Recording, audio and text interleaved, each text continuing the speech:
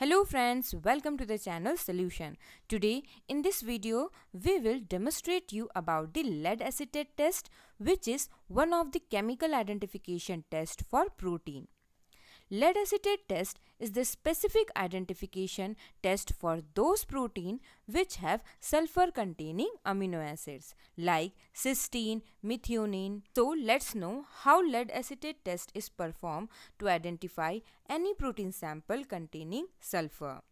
So let's start. First of all, we will take a test tube. Then we have to add 2 ml of the test solution. Then we have to add 2 ml of 40% NaOH solution in the test tube.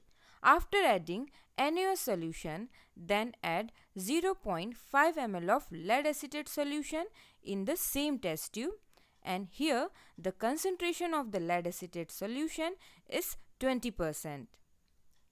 After adding lead acetate solution into the test tube, then boil the content of the test tube on the boiling water bath.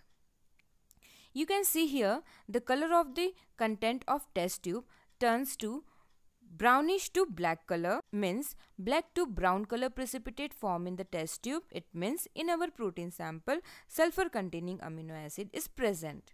Then next principle of this lead acetate test is that sulfur containing amino acid consists of sulfihydryl group or thiol group and this sulfihydryl or thiol group of amino acid react with the lead acetate which we have added in the alkaline condition. For alkaline condition, we have added NaOH solution. After this, black to brown color precipitate form. So what actually happen in this reaction? The sulfur containing amino acid degrade in the strongly alkaline condition and then release sulfide ion in the form of hydrogen sulfide and this sulfide ion then react with the lead acetate to form brown to black color precipitate of lead sulfide. So this is the principle of lead acetate. So to perform this test we can take sample of protein solution like egg albumin because egg albumin which is a protein which have sulfur containing amino acid.